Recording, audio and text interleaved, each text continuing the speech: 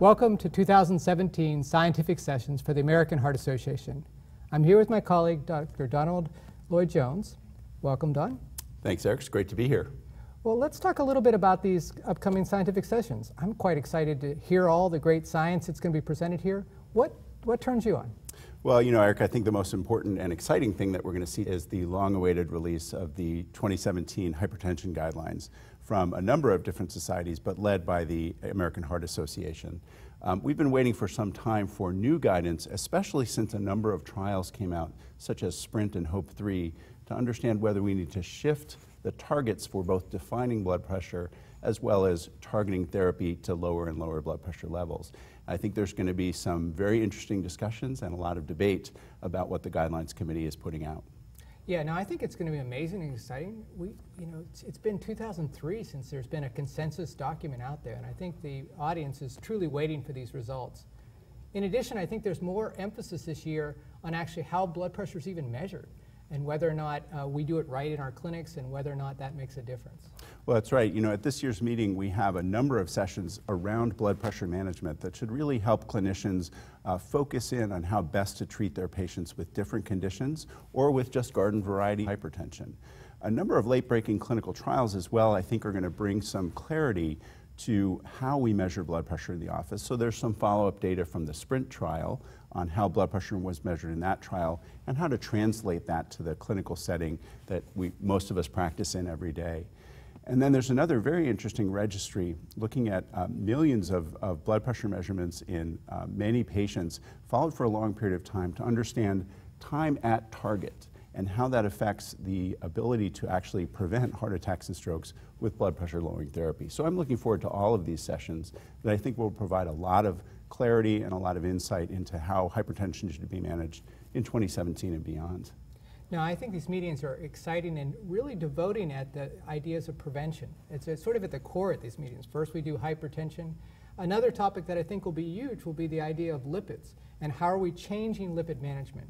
One very large trial, a 13,000 patient study in Asians, will look at this question of whether or not to target um, a moderate versus high dose statin in patients who have stable coronary disease. Now we know in those who have uh, underlying acute events, we target high dose, but whether or not patients uh, with stable disease really benefit from driving their LDLs uh, significantly lower, and particularly in Asian populations, this, uh, the REAL-CAD study will address those. In addition, we're going to have new results on some of the novel agents that were uh, recently released, the CETP inhibitors, the PCSK9 inhibitors, and even the drugs that lower inflammatory markers from the CANTOS study will be quite exciting for me to sort of see. Thoughts on those? Yeah, I think those are those, that's going to be a very particularly exciting session um, because in this day and age, we know that we need to drive LDL cholesterol lower and lower. But how we do that, I think, is is really where the the frontier is in this day and age. So the the trials that we'll see presented uh, in that lipid-related session, I think, are going to be particularly helpful, and again, provide insight and clarity on how we should manage these and which patients we should select for therapy. The, the off-axis thing, of course, is CANTOS, where uh, it's a monoclonal antibody targeting uh, IL-1 beta, a particular molecule in an inflammatory pathway. And those were patients that were pretty well treated already with our usual cocktails of preventive therapies, high risk with cardiovascular disease.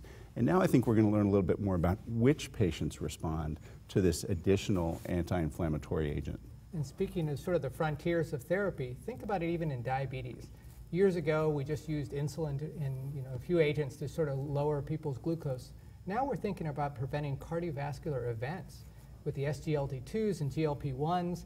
Exciting new results uh, certainly coming out around EMPA-REG, uh, the CANVAS study, and the EXSCEL study. Again, helping us sort of define what subgroup actually benefits. While these drugs are shown to be effective, we really don't know who it is that benefit from these drugs and which can be done in sort of a cost-effective manner. I think this is uh, an important area for, for cardiovascular practitioners uh, of all stripes. Um, you know, personally in my practice, I've kind of shied away from managing diabetes, um, partly because it's, it's really not been a cardiovascular, you know, outcome-related issue to manage the medications for diabetes. But now that's not easy to say anymore. And so I think uh, the information that we get from these trials about patient selection and the order of therapies we might be choosing to treat diabetes is going to be important for cardiovascular practitioners to have knowledge about. No, absolutely. This is a field that now I don't think cardiologists can ignore, and learning more about it will be Yeah. very important. Uh, moving to something we know a lot about but need to learn more, antithrombotics. Anything at the meetings for that? I think there are a number of trials that are going to focus on antithrombotic therapy and antiplatelet therapy that also will help us understand how to manage these things, particularly around the time of interventions. So a number of trials will look at how we should manage anticoagulation therapy and antithrombotic therapy in the setting of putting in electrophysiology devices. I think that's going to be helpful because we know we worry about uh, the complications that come with pocket uh, hemorrhage yeah. and, and subsequent infections and things like that. Also, uh, the, the CAB trial is going to shed some light on the intensity of antiplatelet therapy after coronary bypass grafting. And I think that strategy of looking at aspirin alone or aspirin plus ticagrelor or ticagrelor alone should actually give us some insight into how much and how long antiplatelet therapy is needed after surgery. Now, these are all great questions, and we struggle a lot in clinical practice what to do with our patients and will this make a difference. So I think they're doing the right studies. In my mind, the other sort of sets that are pretty exciting are the idea of not only when we know what we should be doing, are we actually doing it and how can we do it better in the future? So there's a whole series and devoted session on the quality of care and how can we improve it. The Stick to It trial, the ACS QUIK, and the STEMI Accelerator program are three that I'd kind of like to highlight. Any of those sort of one you want to talk about? Yeah, I think uh, you know understanding systems of care and how we can better treat our patients even before they get to the hospital, as was done in the Accelerator 2 trial, I, I think is going to be very important information and perhaps start to push the envelope on setting up these systems of care in more and more places, perhaps particularly in rural areas where that, that first hour, of course, is really critical in maintaining uh, and salvaging myocardium. Yeah, the ACS QUIK study is a similar type of, of study, but it's now done in India and seeing if we can improve the quality of care delivered to patients in this now emerging uh, world of Indian practice. Uh, whether or not a quality of care program that we've used, similar to what we've used in the US now, could be extended to other places around the world, I think will be incredibly exciting. And then finally, the Stick to It program. The idea can we get our patients to stick to it, to remain on their medications through a series of interventions done at the patient level in a personalized fashion that can drive better adherence over time? Remarkably important topics. Absolutely right.